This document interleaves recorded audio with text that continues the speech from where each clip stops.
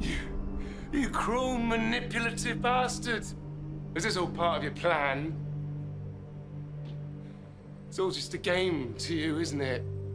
Hey? Well, I know punishment, and he did not deserve that. He followed your stupid rules, and it still wasn't good enough. So what does it take to please you? Break your rules and you fall, follow them and you still lose? Doesn't matter whether you're a sinner. Doesn't matter whether you're a saint. Nobody can win, so what's the point? What's the bloody point?